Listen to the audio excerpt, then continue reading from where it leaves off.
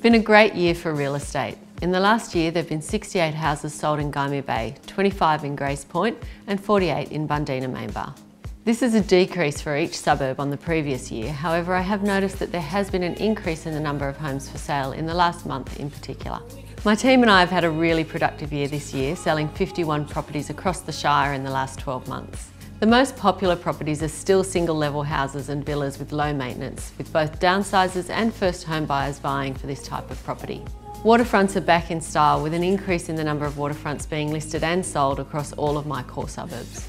I was thrilled to have been given the opportunity to sell one of the most beautiful homes in Gymea Bay this year. The amazing 18 June place was a pleasure to show at open times and generated over 200 buyer inspections during the auction campaign.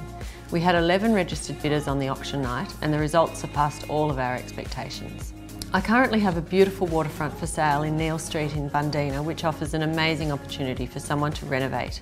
I also have two lovely homes on Northwest Arm Road in Grays Point and Gymea Bay that are perfect for first home buyers and which I expect to have sold before Christmas. My team, Tanner Wynand, Brendan DeBaja and I are excited to have just set up sponsorship of the Gymea Bay Swimming Club. This will be an ongoing commitment to help increase membership and the profile of the club. As I spent much of my childhood at the bars, this is a club that's very close to my heart and I'm thrilled that they asked me to do this. So thanks for watching my final market report for the year. I'd like to thank the people who entrusted me with the sales of their homes in the last year and wish everyone a fantastic Christmas and a relaxing holidays.